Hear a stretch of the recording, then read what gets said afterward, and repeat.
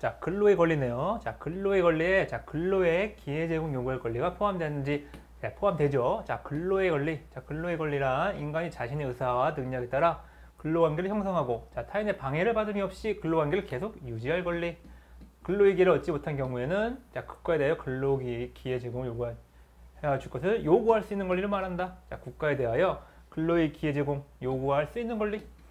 자, 지금 저희 생존권, 사회권적 기본권, 사회적 기본권 파트 보고 있죠. 자, 급부 적극적으로 요구할 수 있는 권리예요. 자, 근로의 권리도 자, 근로의 기회 제공 요구할 수 있는 권리다. 자, 이렇게 능력에 따라 근로관계를 형성할 이 형성할 자유. 자, 그리고 방해받음이 없이 근로를 계속 유지할 이런 권리. 네, 자유권적 성격도 있다고 좀 봤어요. 자, 근로의 권리에 자, 직접 일자리 청구나 자, 생계비 지급 청구가 포함되는지 자, 이런 건 포함 안 되죠. 자, 직접 일자리 청구 그에 가름한 생계비 지급 청구 자, 이런 건 포함 안 돼요. 자, 근로의 권리는 자, 사회적 기본권이다. 자, 국가에 대해 직접 일자리 청구 자, 일자리 가름한 생계비 지급 청구 이게 아니라 자, 고용 증진을 위한 자, 사회적 정, 경제적 정책을 요구할 수 있는 권리다. 자, 직접 일자리 청구나 자, 그에 가름하는 생계비 지급 청구 자, 인간다운 생활을 위해서는 이제 생계비 지급 청구를 할 수 있는데 그건 이제 인간다운 생활을 할 권리로 이제 보호되는 거겠죠. 자, 그게 아니고 자, 근로의 권리는 사회적, 경제적 정책을 요구할 수 있는 권리다. 자, 최소한의 근로 조건을 요구할 수 있는 것이 권리에 자, 대한 외국인의 기본권 주체성. 자, 외국인도 근로의 권리에 주체가 되느냐라는 문제인데요. 자, 최소한의 근로 조건. 최소한의 근로 조건은 외국인에게도 기본권이 인정된다. 자, 국가에 대하여 고용지전을 위한 사회적, 경제적 정책을 요구할 수 있는 권리는 자, 사회권적 기본권으로서 자, 국민에 대하여만 인정해야 하지만 자, 생활수단을 확보하고 자, 인간의 존엄성을 보장받기 위하여 최소한의 근로조건을 요구할 수 있는 권리 이거는 자, 자유권적 기본권 성격도 아울러 가짐으로 자, 이러한 경우 외국인 근로자 기본권성을 인정할 수 있다고 봤어요. 최소한의 근로조건을 요구할 수 있는 권리 인간의 존엄성 보장을 위해 한 거니까 자유권적 기본권 성격이다. 자, 그러니까 외국인 근로자도 기본권 될 수 있다. 자, 일할 환경에 관한 권리가 외국인에게 인정되는 자, 이게 바로 일할 환경의 권리 연결된 거죠. 자, 근로의 권리는 자, 일할 관한 권리만이 아니라 일할 환경에 관한 권리도 의미한다. 자, 일할 환경에 관한 권리는 자, 인간의 존엄성에 대한 침해를 방어하기 위한 권리로서 외국인에게도 인정된다. 자, 일할 환경에 관한 권리, 작업 환경, 막로 조건 이런 거 있죠. 이런 거에 대해서는 자 외국인에게도 인정된다. 인간의 존엄성에 대한 예, 내용이니까 인간의 권리는 외국인에게 인정되죠. 자 외국인 근로자 출국 만기 보험금을 출국 후 지급하는 것이 자 근로의 자유 침해이냐 침해가 안 된다고 봤는데요. 자 외국인 근로자의 출국 만기 보험금을 출국 후 14일 이내 지급하도록 한 조항. 네, 불법 체류를 방지하기 위해 자 그 지급 시기를 출국과 연계시키는 것이 불가피했다. 자, 그래서 근로자를 침해하지 않는다고 봤어요. 자, 출국 만기 보험금. 자, 이거는 외국인 근로자를 채용하는 이제 사업자가 네, 퇴직금 지급을 위해서 매달 이제 보험금 형식으로 납부하는 거예요. 자, 그게 출국 만기 보험금인데, 자, 이거를 이제 외국인 근로자가 출국한 다음에 14일 이내 지급하도록 한 거예요. 자, 이게 이제 불법 체류 방지를 위한 거라서 이제 근로자를 침해하지 않는다고 봤어요. 자, 출국 만기 보험금 결국 그럼 성격이 퇴직금이다. 자, 퇴직금 성격. 자, 퇴직금도 후불임금 성격을 가지고 있으니까 자, 후불임금. 후불임금이니까 자, 근로 조건에 해당한다. 자, 근로 조건에 관한 거니까 자, 외국인에게도 근로자, 근로의 권리 인정되는 거죠. 자, 출국 만기 보험금 지급 시에 관한 외국인 근로자 기본권 주체성. 자, 여기 나오네 바로 자, 출구 만기보험금 퇴직금 성질. 자, 충기 만기보험금은 퇴직금 성질을 가지고 있다. 자, 그 지급 시기에 가는 건 근로 조건의 문제다. 고용허가를 받아 입국한. 자, 출국 만기 보험금. 자, 그래서 출국 후 14일에 지급하도록 한 거. 자, 이거는 이제 외국인 근로자도 근로의 권리 주장할 수 있다. 기본권 주체가 된다고 보는 거죠. 자, 이렇게. 자, 헌법 32조 6항의 우선적 근로기에 자, 앞에서 한번 나왔었죠. 자, 국가유공자 상위공경 전물공경의 유가족, 전물공경의 유가족. 이 유가족은 전물공경의 유가족만 말한다. 자, 물리 해석대로 엄격하게 해석했어요. 자, 32조 6항 국가유공자, 상위 공경, 전물공경의 유가족은 법률이 정하는 바에 자, 우선적으로 근로의 기회 받는 자, 자, 엄격하게 해석할 필요가 있다. 자, 그래서 물리 해석대로 자, 국가 유공자, 상위 공경, 그리고 전문경 유가족. 네, 국가 유공자 이렇게 우선적으로 근로에 기반한 사람이 좀 많이 늘어났죠. 그러다 보니까 이렇게 제한할 물리 해석대로 엄격하게 해석할 필요가 이제 생긴 거예요. 자, 그러다 보니까 이제 이 유가족은 전문 구경의 유가족만 말한다.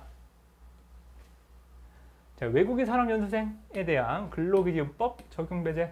자, 평등권 침해하냐? 자, 침해한다고 봤어요. 자, 글, 근로기준법 전부가 아니라 이제 일부 조항이 주요 조항이 이제 적용 배제가 되는데요. 자, 외국인 산업연수생이 연수라는 명목하에 사업주의 지시 감독 자, 사실상 노무를 제공하고 있어. 자, 그럼 수당 명목의 금품을 수령하는 등 자, 실질적 근로관계 있는 경우에도 근로기준법이 보장한 자, 근로기준 중 주요 사항 아, 야, 연차 이런 거 적용, 안 돼요 이런 거. 자, 이런 거 적용 안 된다고 그랬어요. 자, 적용되지 않도록 한 거. 자, 자의적인 차별이라고 봤어요. 실질적인 근로관계를 형성하는 경우. 자, 외국인 산업연수생은 원래 채용 비자 이런 게 예, 취업 비자 들어온 게 아니지만 자, 실질적인 관계에서 사실상 도움을 제공하고 있어요. 자, 그러니까 근로기준법 중에 이런 주요 사항도 같이 적용해 줘야 된다. 적용되지 않도록 한거 이제 그래서 자의적 차별이라고 본 거예요. 자, 노동조합이 근로의 권리 주체가 될 수 있는지 자, 부정되죠. 자, 이거는 노동조합은 근로상권이랑 비교해야 되죠. 자, 근로상권. 자, 근로상권의 주체가 될 수 있어, 노동조합은. 노동조합은 근로상권 주체가 된다. 그러나 근로의 권리는 주체가 될 수 없다. 자, 근로의 권리는 자, 개인. 근로의 권리는 근로자 개개인이 주체가 되는 것이고 자, 근로자로 노동조합은 그 주체가 될 수 없다. 자, 근로에 걸리는 국가의 고용 증진이나 정책을 요구할 수 있는 권리라고 했죠. 이제 본인이 원하는 근로를 형성하고 계속 유지하는 그런 권리예요. 자, 그걸 이제 노동조합이 아니죠. 그런 걸 요구할 수 있는 주체가 될 수 없다. 자, 그러니까 근로의 권리 주체는 개개인, 근로자 개개인이고, 자, 노동조합은 근로 상권의 주체는 될 수 있어요. 이거 꼭 기억해 주시고요. 자, 연차 유급 휴가에 관한 권리. 자, 근로의 권리 내용에 포함되냐? 자, 포함된다고 봤어요. 자, 근로자의 건강과 문화적인 생활이 실현에 이바지할 수 있도록 여가를 부여하는 그 목적이 있는 연차휴가 휴가.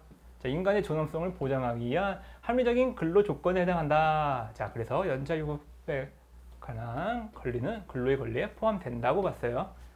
그렇죠. 연차휴가 휴가가 이제 근로자의 건강과 문화적인 생활에 실현에 이바지하는 수 있도록 이제 제도가 된 거니까 자, 이거는 이제 합리적인 근로 조건에 해당한다.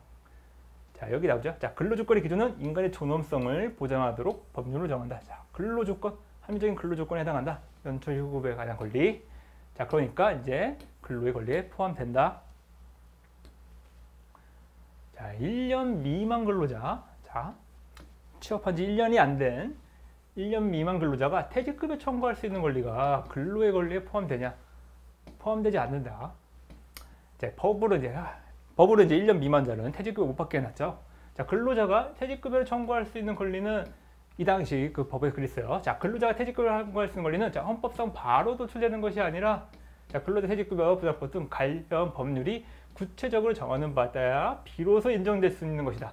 자, 헌법상 이게 퇴직급여 청구할 수 있는 권리가 헌법상 바로 도출되는 것이 아니라 자, 법률이 구체적으로 정하는 바에 따라서 비로소 인정될 수 있는 것이라고 봤어요. 자, 그래서 계속 근로기가 1년 미만 이 근로자가 퇴직급여를 청구할 수 있는 권리, 자, 근로의 권리 내용에 포함되지 않는다고 봤어요. 자, 법률이 구체적으로 정한 바에 따라 비로소 인정된다. 퇴직급여 청구할 수 있는 권리. 자, 그러니까 법에서 이제 1년 미만은 안 된다고 했으니까 자, 퇴직급 청구 권리, 근로의 권리 내용에 포함되지 않는다.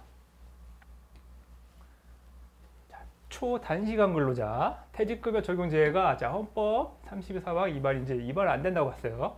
자, 초단시간 근로자가 누구냐? 자, 소정 근로 시간이 1주간 15시간 미만인 자, 이른바 초단시간 근로자. 자, 근로 시간 1주간 15시간이 안 되는 사람들. 자, 이런 데 퇴직급여자들 적용제도 제외하는 것은 자, 헌법 30조 제3항에 위배되지 않는다.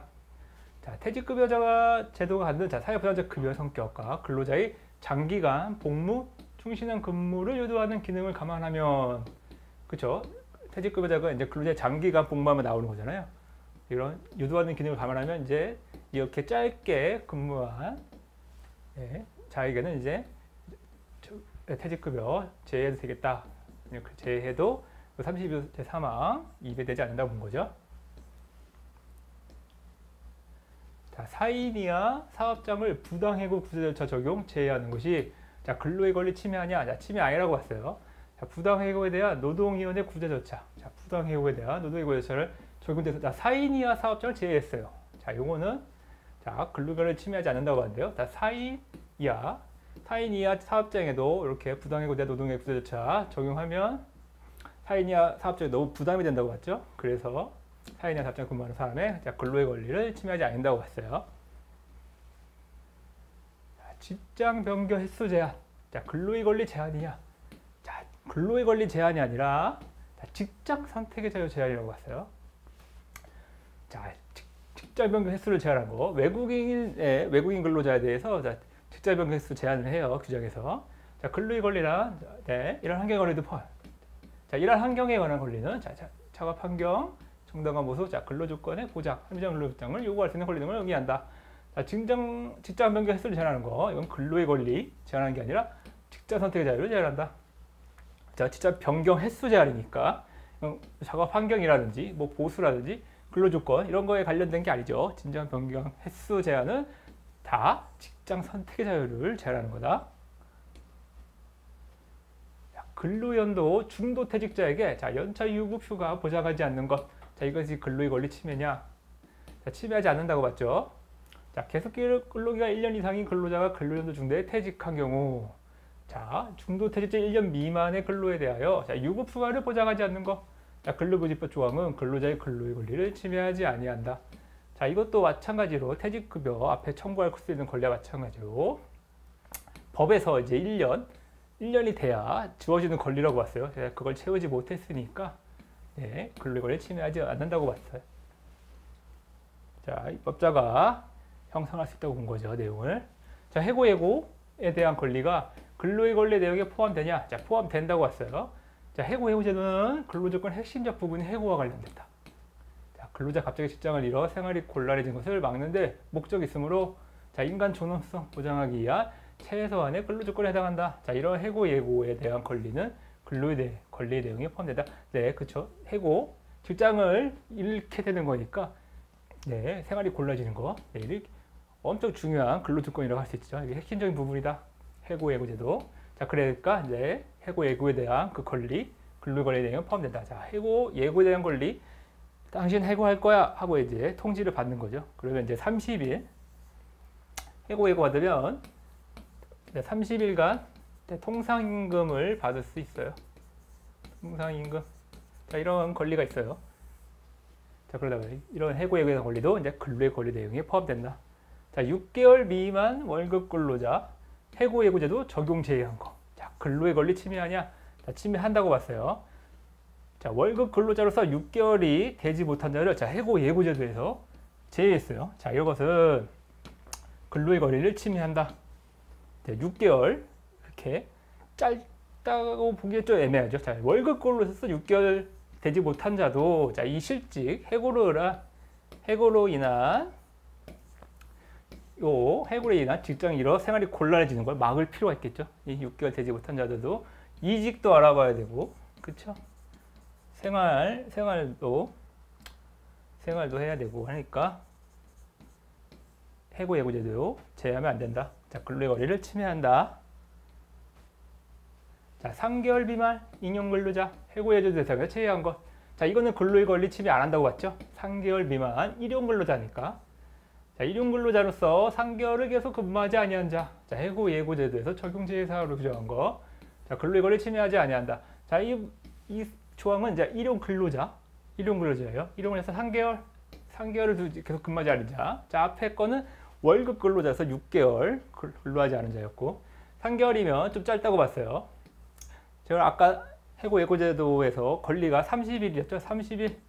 30일 이상인데 어, 3개월밖에 또 근무하지 않았는데 이거 30일 동안 통상임금 주는 거 좀 사업자에게 불리하다고 봤어요. 자, 그러니까 이렇게 해고 예제에서 적응 제해도 근로의 권리 침해하지 않는다고 봤어요. 자, 국가의 직장 상실에 대한 보호부 임한 판단 기준. 자, 가소보호금지. 자, 맨 앞에서 사회적 기본권, 생존권, 성격 이야기할 때 말겠죠. 자, 심사 기준을 가소보호로 한다. 자, 국가는 국민의 권리를 보장하기 위하여 사용자의 처벌에 따른 직장 상실에 대하여 자, 최소한의 보호, 최소한의 보호를 제공하여 할 의무를 부담한다.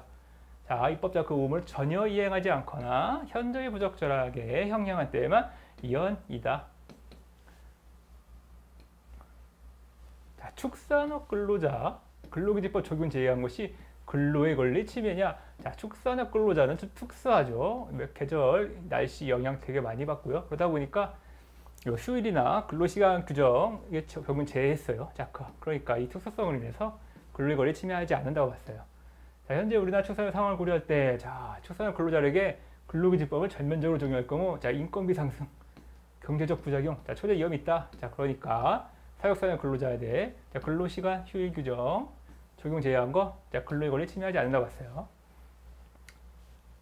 야간에도 막 하고 막 휴일 그런 거 없고 막 그러니까요. 여기는 특수성이 있어서 자 근로 상권이네요. 이제 자 근로 상권의 성격 자 사회권적 자유권이에요.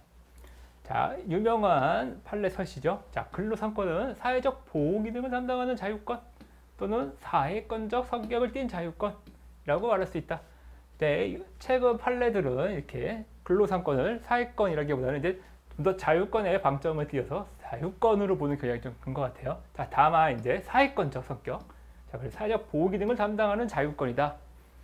자, 근로자가 단체를 결성해서 사용자의 대립관 할 수 있도록 만드는 거니까 자, 사회권적 성격을 띄었다라고 한 거예요. 자, 이렇게 하나로 두시고요.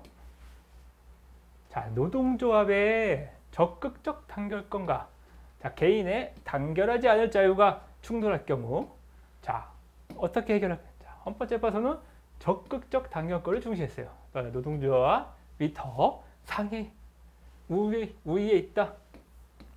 자, 헌법재판소가 사업장에 종사하는 근로자의 3분의 2 이상을 대표하는 노동조합의 경우 단체협을 매개로 자, 조직 강제를 용인하는 법률 조항. 자, 이게 유니온 샵 조항이죠. 그 유명한 유니온 샵 조항. 자, 사업장에 근로자 3분의 이상 대표하는 노동조합이 있는 경우 자, 그 노동조합에 들어가는 걸 가입, 가입하는 걸 강제하는 거예요. 자, 무조건 이제 노동조합 들어가야 돼요, 그러면. 자, 조직 간에 용인하는 거, 자, 법률적 합헌으로 본 거. 자, 결국은 조직이 강제되는 거죠. 가입이 강제되는 거니까 개인의 단결하지 않을 자유가 제한되는데 자, 이걸 합헌으로 봤어요. 헌법재판소. 이걸 합헌으로 본 건 결국 노동조합의 적극적 단결권을 자, 개인의 단결하지 않은 자유보다 중시한 것이다. 자, 노동조합의 조직 강제권, 단결하지 아니할 자유보다 특별한 의미인지. 자, 이게 바로 이 합헌인이 놓은 거죠. 헌법재판소가 합헌 결정을 한 놓은 거. 자, 노동조합의 가입에 강제당하지 아니할 자유와 노동조합의 조직 자 충돌하게 된 경우, 자 근로자에게 부상되는 적극적 단결권이 다 단결하지 아니할 자유보다 특별한 의미를 갖는다. 자, 노동조합의 조직 강제권도 이른바 자유권을 수정하는 의미의 생존권적 성격을 함께 가지고 있는 만큼 자, 근로자 개인의 자유권에 비하여 보다 특별한 가치로 보장된다. 자, 그렇죠. 노동조합의 적극적 단결권은 이 개인의 자유권, 단결하지 않을 자유보다 더 특별한 의미로 규정되어 있죠. 예, 사용자와 사업자와 단체를 결성해서 대립하, 대립하고 동등한 위치에서 협상을 할 수 있도록 만든 거니까 단결하지 아니할 자유보다 더 특수, 특별한 의미 가지고 있다. 자, 그만큼 특별한 가치로 보장된다. 자, 이런 논거를 통해서 적극적 단결권, 단결하지 않을 자보다 중시한 것이고, 그래서 이 유니온샵 조형을 합헌으로 본 거죠. 자, 단결권에 자, 근로자 단체의 집단적 단결권이 포함되는지 자, 포함된다고 봤어요. 자, 단결권에는 자, 개별 근로자가 근로자 단체를 조직하거나 그에 가입하여 활동할 수 있는 자, 개별적 단결권뿐만 아니라 자, 근로자 단체가 존립하고 활동할 수 있는 집단적 단결권도 포함된다. 자, 노동조합도 근로 상권의 주체가 된다고 봤죠. 여기 근로자 단체, 이 근로자 단체도 집단 단결권 예, 포함된다. 예, 조그만 노동조합 모여서 연합체 구성하죠. 예, 노총, 민주노총, 한국노총 이런 게 있죠. 대단위로 모여서 지역별로 모일 수도 있고 전국적 단위로도 모일 수 있어요. 자, 그렇게 근로자 단체가 또 모여서 또 집단적 단결권 행사할 수 있어요. 자, 개인적 단결권과 집단적 단결권의 충돌 시 해결 방법. 자, 이때는 서열 이론이 아니라 자, 규범조화적 해석을 통해서 해결했어요. 자, 개인적 단결권과 개인적 단결권과 집단적 단결권이 충돌하는 경우 기본권 서열 이론에 입각하여 어느 기본권이 더 상위 기본권이고 단장할 수 없다. 자, 그러다 보니 규범 조화적 해석, 실제적 조화적, 조화의 원리를 따라서 해결하는데요. 자, 개인적 단결권은 뭐냐? 자, 개인적 단결권은 조직을 선택할 본인이 조직을 선택할 권리, 개인이 자 개인이 조직 선택할 권리인데 자 좀 전에 봤던 네, 집단적 단결권 유니온샵 조항에서는 조직 가입 강제하죠. 그 노동조합에 들어가야 되니까. 자 그렇게 하다 보니까 이 집단적 단결권과 개인적 단결권이 충돌하게 됐어요. 자 이때는 어느 기본 상위 기본권이 단정할 수 없으니까 자둘 다 최대한 보호할 수 있는 방법을 모색해 봐라. 자 그런 거죠. 자 법률 위임 없이 시행령으로 자, 법이 법의 노조 통보 조, 규정한 것이 노동상권 침해냐? 자 법률 위임 없이 법의 노조 통보한 거. 자 침해한다고 봤죠. 자 법률 위임 없이 이렇게 법의 노조 통보. 어, 너, 너 너네 노조 더 이상 법상 법적으로는 노동조합 아니다라고 이렇게 바로 통보해 버렸어요. 법도 없는데 법률 그런 규정이 없는데 시행령으로 자, 이거는 네, 안 되겠죠? 자, 법률 이임 없이 법률이 정하지 아니야 법의 노조 통보에 관하여 규정한 거. 자, 이 시행령에 자, 노동사건 본질적으로 제한하고 있다. 자, 그렇죠. 자유로 무효이다. 자, 아예 그냥 법적 노조 지위를 그냥 박탈한 거니까 이러면 안 되겠죠. 자, 법률 이임 없이. 자, 근로상권이 자, 헌법 규정만으로 직접 효력을 가지는 구체적 권리냐? 네, 구체적 권리라고 봤어요. 노동상권은 자, 법률 제정이라는 국가의 개입을 통해 비로소 실현될 수 있는 권리가 아니라 자, 법률이 없더라도 자, 헌법의 규정만으로 직접 법규로서 효력을 발휘할 수 있는 구체적 권리다. 네, 법 조문에서 그냥 근로 상권 가진다고 돼 있어요. 뭐 개별적 법률 요구 이런 게 있는 게 아니라 그렇죠. 법으로 법률 요구가 안 돼 있으니까 법을 정할 게 없고 바로 직접 그 규정만으로 효력을 발휘할 수 있다. 그런 구체적 권리다. 근로사건은. 자, 단견권의 성격. 자, 자유권의 본질을 가지고 있습니다. 국가로부터 자유를 강조되는데요. 자, 아까 봤던 사회적 기능을 담당하는 자유권. 자, 노동상권 중 장결권은 자, 결사의 자유가 근로의 영역에서 구체됐다. 자, 그쵸? 어찌 보면 결사의 자유가 이 근로의 영역에서 구체화 되고, 그러니까 그래서 좀 더 특별한 의미가 있다고 했죠. 자, 연역적 개념적으로 자, 자유권으로서의 본질을 가지고 있으므로 자, 국가에 의한 자유가 아니라 국가로부터의 자유가 보다 강조되어야 한다. 그쵸? 사업자와 대등한 지위를 가지기 위해서 단결권이 생겼어요. 자, 그러다 보니까 자유, 자유롭게 우리 단체를 결성하자. 이게 이제 연역적이죠. 연역의 개념적으로 그래서 자유권이 본질이다. 자, 그러다 보니까 국가로부터의 자유가 보다 강조되어야 한다. 자, 사업장 내 모든 노조에 자, 단체 교섭권 보장해야 하는지 네, 보장할 필요는 없다고 봤어요. 자, 노동조합에 대한 단체 교섭권 보장은 자, 사회적 약자인 근로자가 사용자와 사이에 대등성을 확보하는 것, 자, 적정한 근로조건을 형성할 수 있도록 하는 수단이므로 자, 수단, 단체 교섭권 보장하는 건 다 수단이다. 반드시 자, 사업장 내 모든 조합이 각각 단체 교섭권을 보장하는 것은 아니다. 네, 예전에는 복수 노조 금지라서 사업장에 하나만 있었는데 요새 지금은 이제 복수 노조 허용돼서 사업장에 여러 노동조합이 가능하죠. 자 그러다 보니 누가 대표해서 협상할 거냐가 이제 문제 되는데 네, 그 중에 이제 하나만 하라 하나만 하게 할 수 있죠. 그렇죠. 그런 법이 돼 있어요. 자 노동조합에서 그래서 그거 가지고 이제 어, 다른 노, 노동조합 하다도 합성하고 싶은데 답체 교섭하고 싶은데 못하고 법으로 막아놨으니까 근데 그 규정이 이제 위반이 아니라고 봤죠. 단체 소득 부정. 사업장 내 모든 노동조합에 각각 단체 소득을 부정하는 것은 아니다. 네, 이게 수단이라고 했어요. 단체 교섭권은 결국은 이제 근로자가 사용자 사이에 대등성 확보해서 이 적정한 근로조건을 형성할 수 있도록 하는 수단이니까 이런 적정한 근로조건을 형성할 수 있, 있다면 요 그쵸? 요 사, 하나, 단체 교섭을 하는 하나의 노동조합이 요 저점을 형성하기 위해서 사용자와 대등하게 협상할 수 있다면 뭐 다른 노동자와 예, 단체 교섭은 반드시 보장해야 되는 건 아니겠죠. 자, 노조 가입을 강제당하지 아니할 자유의 근거. 자, 노도다. 단결권에서 포함될까요? 아니겠죠. 자, 일반적 행동의 자유. 자, 결사의 자유로 보호돼요. 강제당하지 않을 자유, 노동조합. 자, 단결권이 아니죠. 이게 중요하죠. 단결권이 아니다. 근로자가 노동조합을 결성하지 아니할 자유나 노동조합의 가입을 강제당하지 아니할 자유는 자, 단결권의 내용에 포섭되는 것이 아니다. 자, 일반적 행동자유권 또는 결사의 자유에서 그 근거를 찾을 수 있다. 자, 결사의 자유에는 소극적 자유도 포함된다고 했잖아요. 자, 일반적 행동자유는 모든 행위를 할 자유와 하지 않을 자유가 포함되는 거고 자, 이 단결권은 단체 구성, 노동자들이, 근로자들이 단체를 구성하는 그런 권리예요. 근데 구성할 권리지 구, 어? 단결하지 않을 자유 이런 거 아니죠. 적극적으로 이제 단체를 만들 권리, 단결할 권리입니다. 자 그러다 보니까 이제 단결하지 강제당하지 아니할 자유, 단결하지 아니할 자유는 이제 일반적 행동 자유권, 결사의 자유에서 나온다. 자, 교원 노조 자격을 자 재직 중 재직 중인 교원으로 한정하는 거. 자, 이게 단결권 제한이라고 하죠. 자, 단결권에는 자, 근로자가 돌립하고 활동하는 자, 뒷단도 단결권도 포함된다. 자, 교원 노조를 설립하거나 자, 그에 가입하여 활동할 수 있는 자격을 자, 초, 중등학교 재직 중인 교원으로 한정하는 거. 자, 해직 교원이나 실업 구직 중에 있는 교원, 이런 교원 노조를 만들려는 자, 교원 노조의 단결권을 제한하는 것이다. 자, 해직 교원을 교원 노조 가입돼서 제한하는 것이 단결권 침해냐? 자, 침해는 아니라고 했죠. 자, 교원의 노동조합 설립 및 운영 등에 관한 법률 적용을 받는 교원의 범위를 자, 재직 중 교원으로 한정하고 자, 해직 교원을 제한하는 거. 자, 이거는 이제 단결권 침해하지 아니한다고 했어요.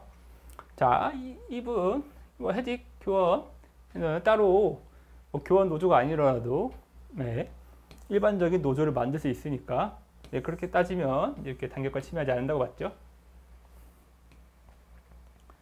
자, 교육 공무원 아닌 대학 교원.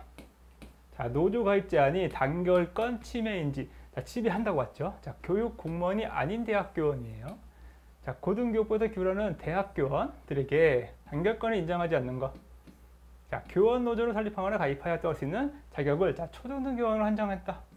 자, 교원 노조를 초등등 교원 한정했어. 자, 교육 공무원 아닌 대학 교원. 자, 근로기획권 핵심인 단결권조차 부족한 곳. 자, 목적의 정당성을 인정할 수 없다. 자, 목적의 정당성 인정할 수 없는 게 또 나왔네요. 자, 수단의 적합성은 뭐 당연히 인정할 수 없겠죠. 목적의 정당성 없으니까. 자, 교원 노조. 자, 교육 공무원 아닌 대학 교원이 이제 단결권, 단체 교섭권 뭐 둘 다 안 되고 단체 행동권도 안 될 수도 있긴 하지만 이 둘 다도 안 돼. 단결권도 아예 못하게 한 이렇게 금지해 놓은 거는 문제가 좀 심각하다. 자, 그래서 아예 목적의 정당성을 인정할 수 없다고 봤어요. 자, 그래서 단결권조차, 단결권조차 부정했으니까. 자, 그래서 교육 공무원 아닌 대학교원의 노조 설립 금지한 것. 네. 단결권 침해다. 자, 대학교원 단결권 침해 여부 심사 기준인데요.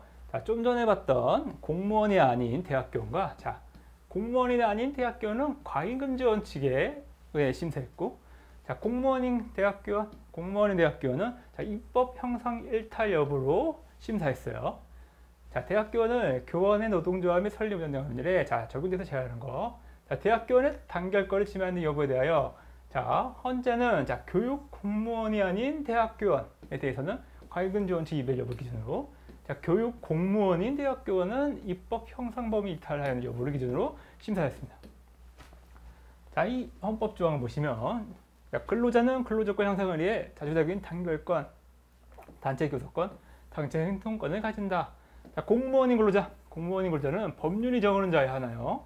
단결권, 단체 교섭 및 단체 행동권을 가진다. 자, 여기 개별적인 법률 요구가 있어요. 공무원인 근로자. 자, 이렇게 법률이 정하는 자에 하나요. 근로상권을 가지니까 자, 여기서 교육 공무원인 대학교원에 대한 자, 요 행, 근로상권에 대한 형성은 입법 형성이 있으니까 자, 이 입법 형성의 범위를 일탈하는 여부를 기준으로 심사한 거예요. 자, 교육 공무원인 대학교원, 자, 교육공무원 동의하는 노조가입 제한이 근로상권 침해인지 자, 이것도 침해라고 봤어요. 교육 공무원이든 교육, 교육 공무원이 아닌 대학교원이든 둘 다 침해는 마찬가지다. 다만 이게 심사 기준이 달랐다. 자, 교육 공무원인 대학교원. 자, 여기서도 이제 일체 허용하지 않는 거. 근로상권을 전면적으로 부정하는 거. 이거는 이제 입법 형사권의 범위를 벗어나 헌법에 위반된다. 자, 자, 여기는 또 입법 형성권의 범위를 일탈하였다. 교육 공무원이 아닌 대학교는 과잉 금지 원칙을 위배해서 위헌이고 교육 공무원인 대학교는 자, 입법 형성 범위를 일탈해서 위헌이다. 청원 경찰에게 자, 근로상권이 보장되는지 자, 청원 경찰도 근로상권 보장된다고 했죠. 자, 국가기관이나 지방자치단체 EA 곳.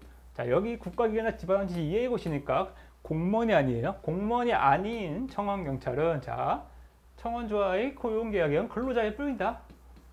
자, 국민 전체적 봉사자 국민대회 책임지와 그 신분과 정치적 중요성이 자, 공무원 신분이 아니야. 자, 이러한 청원 경찰에게 자, 기본적으로 근로상권이 보장되어 당연하죠. 자, 공무원 신분도 아닌데 그럼 청원경찰 이게 근로상과 아예 인정하지 않는 건 문제가 있어요. 청원경찰은 한시 제한적이죠 권한이 뭐 경찰의 임무를 수행하는 부분이 엄청 제한적이에요. 자 그런데도 불구하고 이렇게 전면적으로 근로상권 보장 안 해주는 거죠. 문제가 있겠죠. 자 그래서 근로상권 침해라고 본 거죠. 자 여기 밑에 나오죠. 자 근로상권 전면 제한하는 거 청원경찰. 자 근로상권 침해다.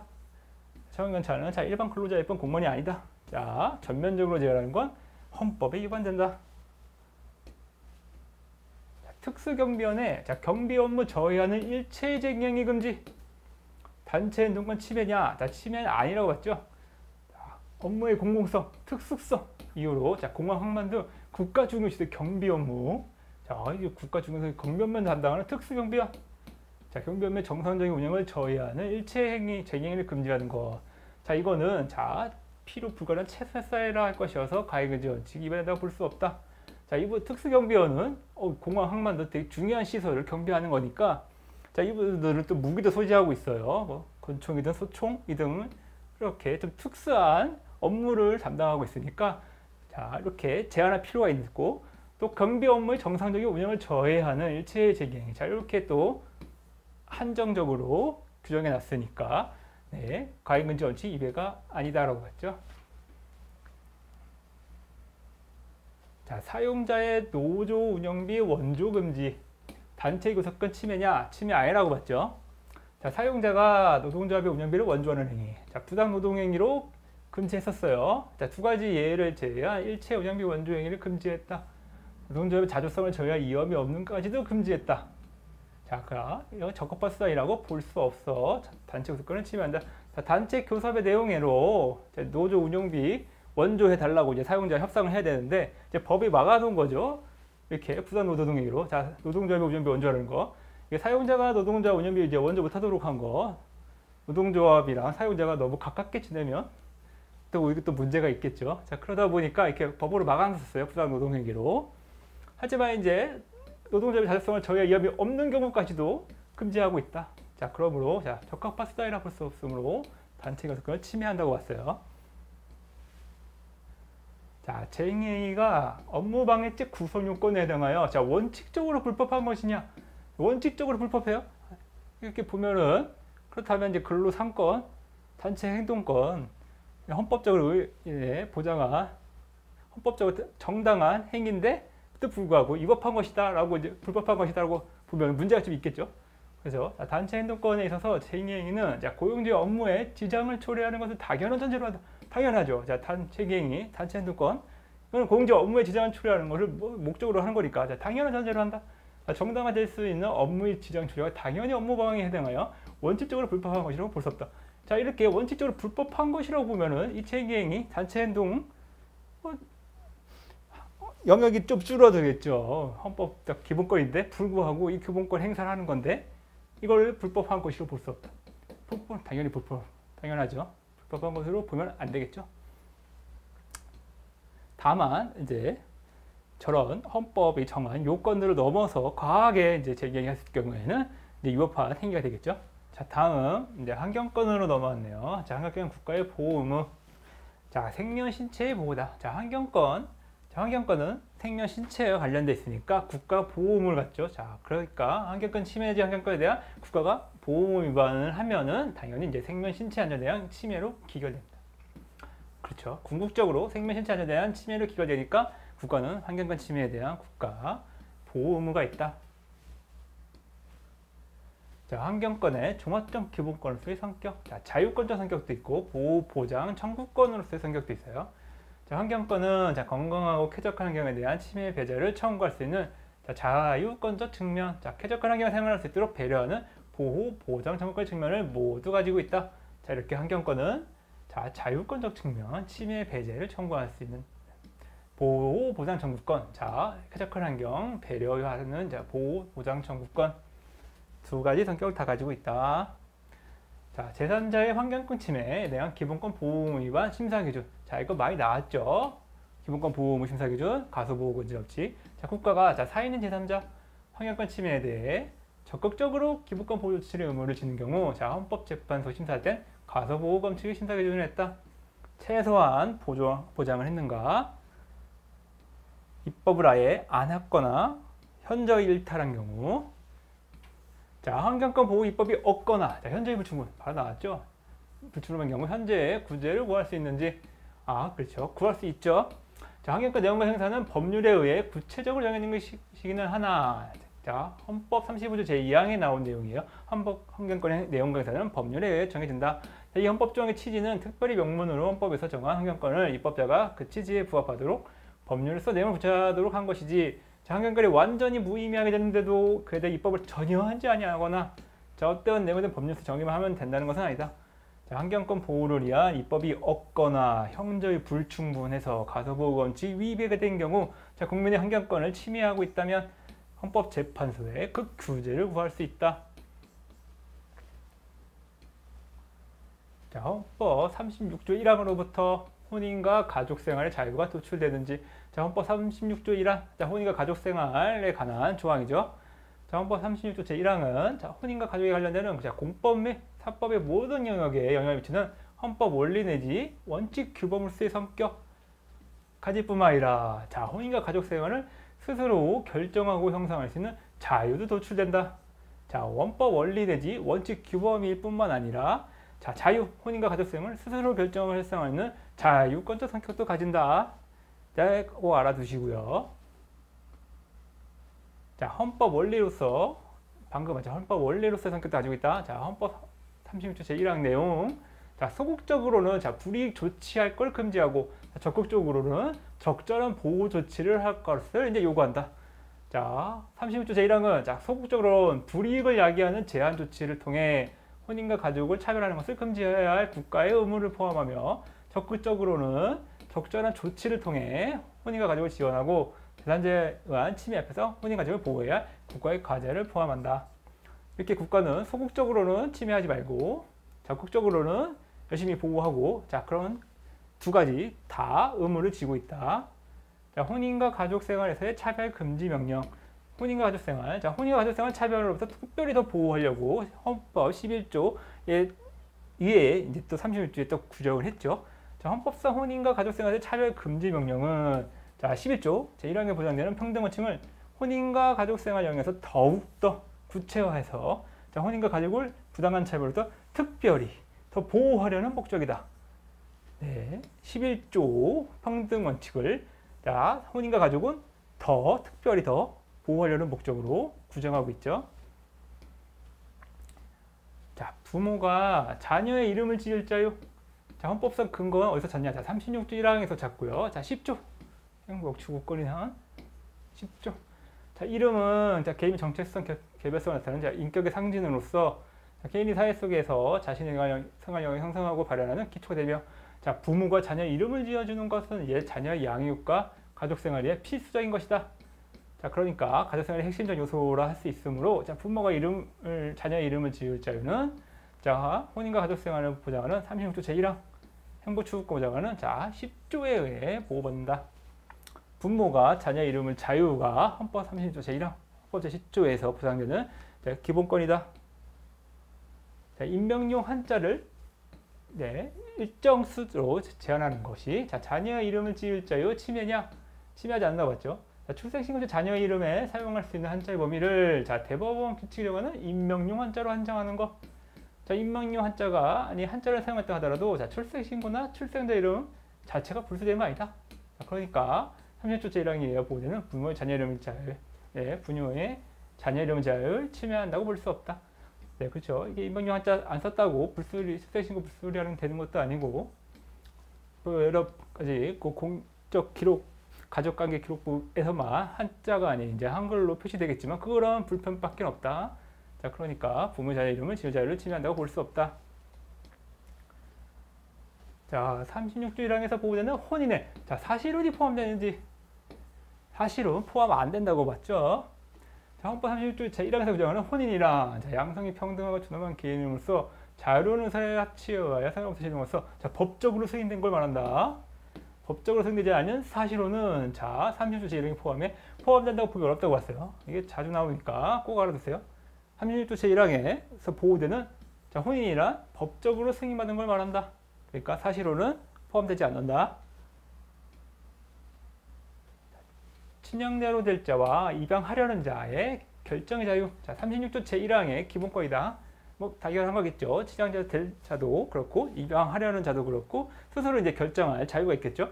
자, 친양자로 될 사람, 자, 자신의 의사에 따라 스스로 입양의 대상이 될 것인지 여부를 결정할 자유. 자, 친양자 입양을 하려는 사람도 입양할지 여부를 결정할 수 있는 자유. 다 기본권으로 보호된다. 자, 이게 다 36조 1항의 기본권이다.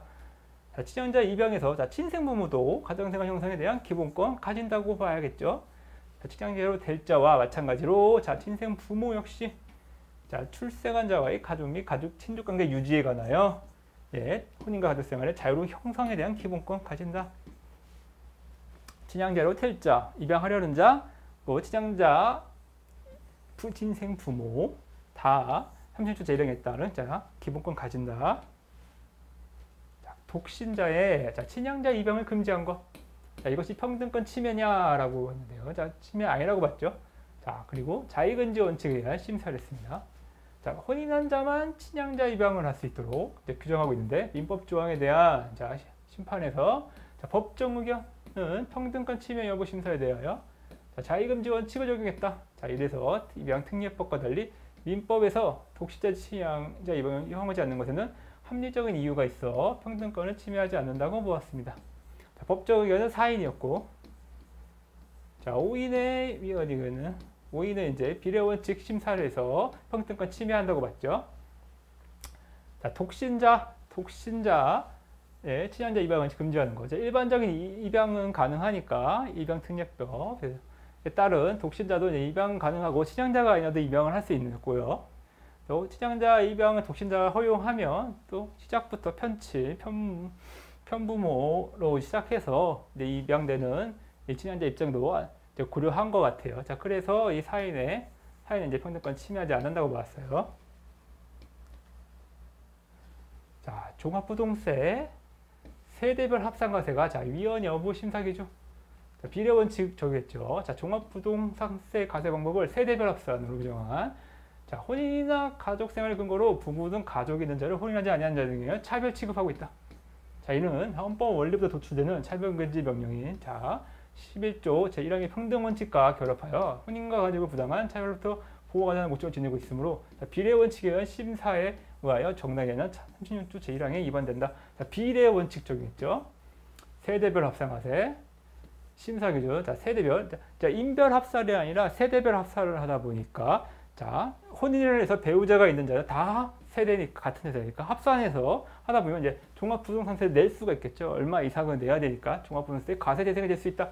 자, 그러다 보니까 혼인에 의한 차별을 하는 것이고 그에 대한 비례 원칙을 심사를 했다. 자, 결국은 평등권 침해라고 봤겠죠. 자, 부부 자산 소득 합산 과세 이것도 마찬가지죠. 부부 자산을 네, 결혼했다는 이유로 혼인 배우자가 있다는 이유로 자산 소득을 합산 가세한 거 이것도 36조 1항 위반이다. 자 부부 자산 부부 자산 소득 합산 가세 제도는 자 11조에서 보장한 현대원층을 자 혼인과 가족생을 더 구체화한 혼인자의 차별을 금지하고 있는 자 36조 제2번에 위반된다. 자 혼인 종류 후 출생자 전 남편 친생 주장하는 것이 자 혼인에 관한 기본권 침해냐 침해한다고 했죠. 자, 혼인 종료 300일 이내 출생한 자는 전 남편을 칠생자로 추정하는 것, 이거 민법에 있던 거죠. 자, 모가 가정생활과 신분과 누려갈 인격권, 자, 혼인과 가족생활에 관한 기본권 침해한다. 전 남편의 친생자로 추정하다 보니까 예 문제가 심각해지죠. 이거 전 남편 지금 친생 부인의 소를 해야 되니까 이 또 친생 부인하려면서 또 만만치 않거든요. 그러다 보니까 이거 이 규정 때문에 저 뭐가 인격권, 자 혼인과 특성이랑 기본권 많이 침해한다 봤어요. 자 성의 변경을 허용하지 않는 것 인격권 침해인지 침해한다고 봤죠. 성 이거는 네 남성 여성 할 때 그 성이 아니라 자 이름 할 때 성 부성주의 부성주의 할 때 부성 성이에요. 자, 부성주의 여기 나오네요. 부성주의 규정과 자체는 헌법에 위반된다고 할 수는 없다. 자, 부성주의 자체는 헌법에 위반되지 않는다고 봤고, 자, 입양이나 재혼능과 같이 자, 가족관계 변동이 있는 경우 새로운 가족관계 형성에 있어서 자, 구체적인 사정들에 따라 양부 또는 계부성으로 변경이 개인의 인격적 이익과 매우 밀접하다. 자, 그렇겠죠? 네. 네, 양부, 계부, 이제 친하, 친부, 친부하고 사이가 안 좋아서 멀어질 수 있잖아요. 그러면 이제 양부나 계부성을 따르고 싶은데 자, 그렇게 못하게 하니까 이게 인격적 이익과 매우 밀접한 관계가 있네요. 자, 부성의 사용만을 항의하여 자, 성의 변경을 허용하지 않는 것. 자, 그래서 얘는 인격권을 침해한다고 봤어요. 자, 육아휴직 청구권이 헌법적 차원의 권리냐 아니라고 봤죠? 자, 육아휴직 청구권은 자, 36조 제1항부터 개인에게 직접 주어지는 헌법적 차원의 권리는 볼 수 없다. 자, 입법자가 여러 가지 요소를 고려하여 제정하는 자, 입법 적용 요건, 적용 대상 부분에 구체적인 사항이 규정될 때 비로소 형성되는 법률상의 권리다. 자, 육아휴직 신청권, 자, 법률상의 권리다.